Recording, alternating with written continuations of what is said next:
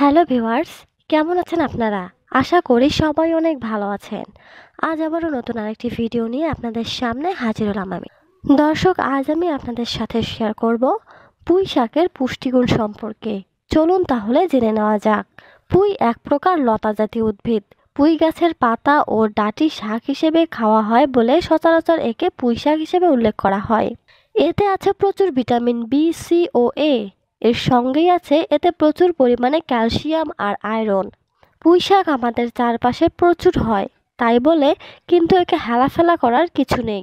এতে প্রচুর পরিমাণে ক্যালসিয়াম আর আয়রন রয়েছে। আমাদের শরীরের বৃদ্ধির জন্য যেমন ক্যালসিয়াম বা আয়রন দরকার তেমনই ভিটামিন থাকার জন্য আমরা অনেক রোগ থেকে মুক্তি হতে পারি। এছাড়া ফলিক অ্যাসিড, পটাশিয়াম, জিঙ্ক এইসব খনিজ পদার্থ আছে, তাই পুঁই শাক চোখে বুঝে খেয়ে নিন। এছাড়াও রয়েছে নানান রোগের প্রতিকার এই পুঁই শাকে চলুন তাহলে জেনে নেওয়া যাক পুঁই শাকের উপকারিতা সম্পর্কে।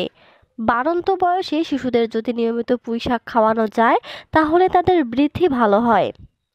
শিশুরা তাদের বেড়ে ওঠার জন্য প্রয়োজনীয় ভিটামিন, মিনারেল, প্রোটিন সবই এক প্রকার এই পুঁই শাক থেকে পেতে পারেন। তাই বাচ্চাদের ছোট থেকেই পুঁই শাক খাওয়ানোর অভ্যাস করতে হবে।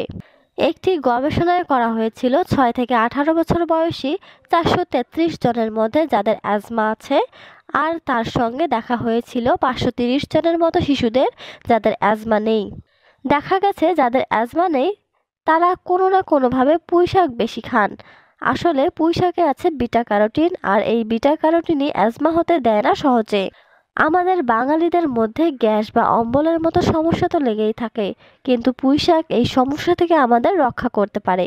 এটি হজমের ক্ষমতা বাড়িয়ে তোলে, আর যেহেতু পুঁই শাকের ফাইবার থাকে, তাই কোষ্ঠকাঠিন্য হতে দেয় না।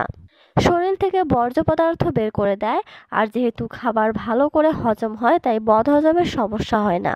পুঁই শাক কিন্তু পটাশিয়ামের একটি ভালো উৎস। আমরা জানি পটাশিয়াম ব্লাড প্রেশার কমায়, পটাশিয়ামের শরীরে সোডিয়ামের মাত্রা ঠিক রাখে। তাই পুঁই শাক কম খাওয়া মানে শরীরে পটাশিয়াম কম আসা আর তার ফলে ব্লাড প্রেশারকে সঙ্গী করা।